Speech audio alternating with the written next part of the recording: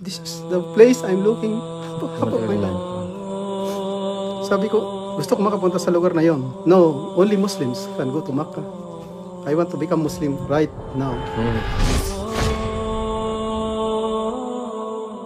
Bismillah, pakilala po muna kay Doc. Assalamualaikum warahmatullahi wabarakatuh. Hayakala mga kapatid. Alhamdulillah. Um, Doc, saan po kayo sa Pilipinas? Ah, Atimunan Quezon po. Quezon Province? Opo.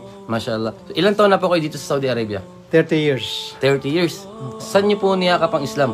Dito po sa Riyadh.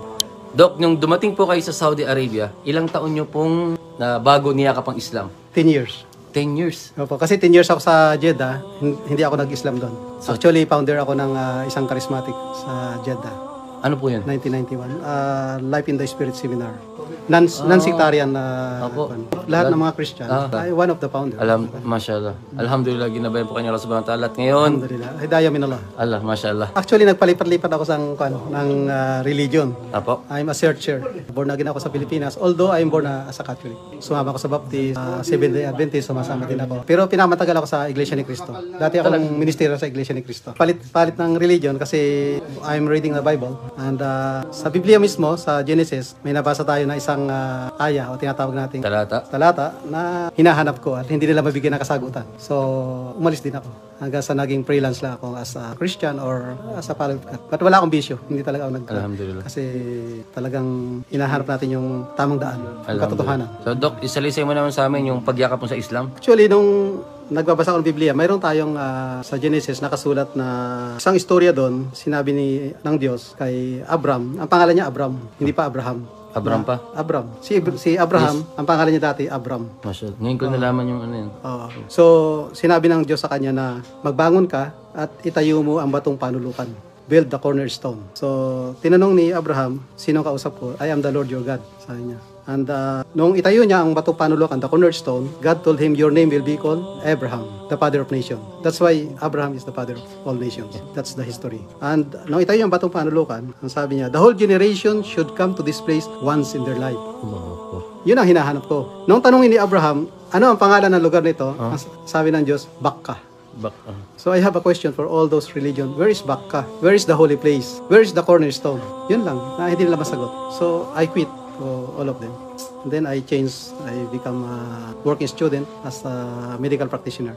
I go to Jeddah for 10 years. Nobody told me about Islam. Although I heard, I heard about it. Nang dito na ako sa Riyadh, hidayah min Allah. Hidayah. So one month lang ako dito sa Riyadh. Sa clinic ko, I was working in uh, Prince Salman Social Center, Marquis Malik Salman, for elderly people. Meron doon na magbibigay ng mga books, Islamic books, gano'n. Marami about Ramadan, about uh, Jesus, about uh, ito, ito ay aklat para sa iyo.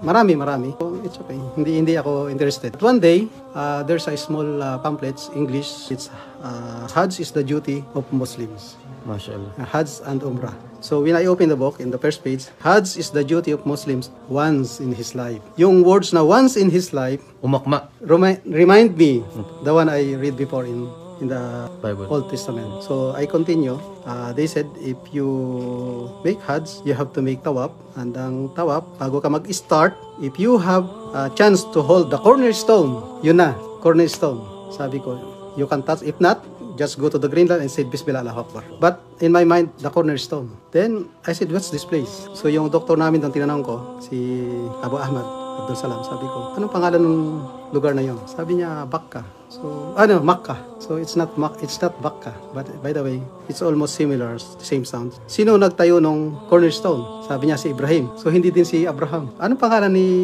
Ibrahim is Islamic name?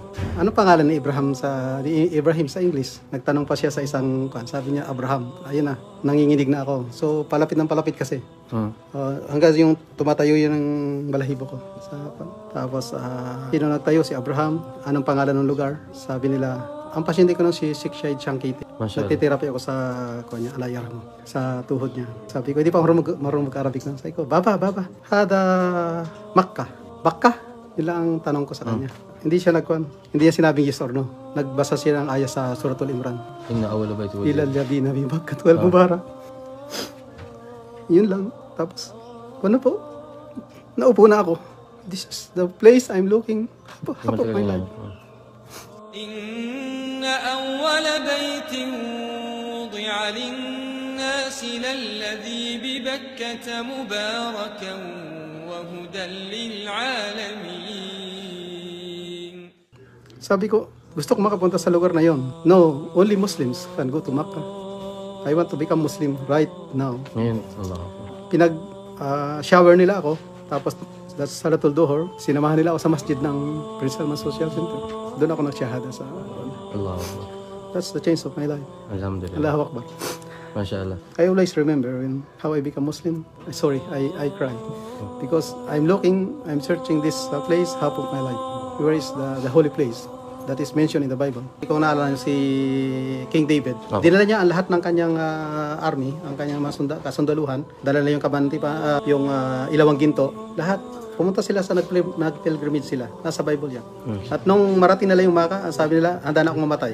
Nakarating na ako sa lugar ng ating ama. Unang panahon pa, talaga naglalakbay ang mga tao, makarating lang sa Maka. Alam niyo po ba, Dok, nabanggit sa banal na Quran? Sabi ni Allah subhanahu wa ta'ala, tafidu. Kumbaga, lumuluha ang kanilang mga mata kapag malaman nila yung katotohanan. Sino yung tinutukoy rito? Yung mga Nasara. Yung mga maalam sa pananampalatayang Kristyanismo kapag sila nag-Muslim sa Suratul Maida. Nabanggit po yan. wala. Nabanggit yan. Bakit? Dahil yung mga Kristiyano po, sila yung malapit sa mga Muslim. Dahil sa paniniwala o kanilang mga doktrina. Yes, yes. Ayan, katulad ng ano, yung nabasa ninyo sa talata, mashallah. Kumbaga kaalaman para sa akin. Yung kahit sino naman, manginginig talaga kapag ito yung hinahanap mo, tapos yung kwento nyo sa ospital, talagang manginginig. Halos siguro, kapag may paniniwala ang tao sa Diyos, malaman yung talata na ito sa Quran, ito yung hinahanap niya. Kumbaga, parang mahihimatay sa katotohanan, di ba? Alhamdulillah. At Dok, ano po yung mga nagbago sa inyo? Ah, Yung marami. mashallah. Ah, yung sa- pinakamalaki nagbago sa inyo. Sa bisyo, wala namang bisyo talaga. Kasi nga po, Talaga- mangangaral kayo nung oo, araw bisyo ako. religyoso. Yun lang. So yung pangangaral ko, why not uh, do it in a Islamic Apo. way? Saka ang pinakamalaking nagbago sa akin, dati selfish ako. Uh, working student ako, talagang mahirap kami. Gusto kong makaipon para sa sarili ko. So, labindalawa kayong magkakapatid. Nung mag-Muslim ako, ginawa ko lahat ng suporta sa aking parents, sa aking magulang. Allah Akbar. Ah, nung pangarap ng nanay ko magkaroon ng bahay kasi lagi nagigiba yung bahay namin. Ginawa ko yun. This is one of the way why I'm mother become uh, Muslim. Muslim. Allah Akbar. Mashallah. Ah, sabi niya, Mashallah. Nung pagpatay ko sila bahay, bakit mo ginagawa to? Sabi niya, I didn't say because I'm your son. I said because I'm Muslim. Mashallah. Yun, yun.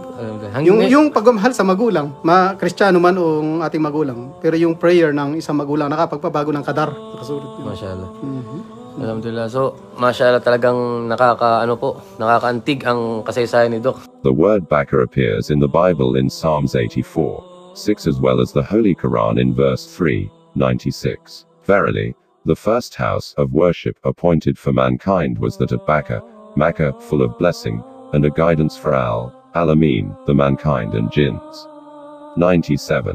In it are manifest signs, for example, the Makam place of Ibrahim, Abraham, whosoever enters it, he attains security.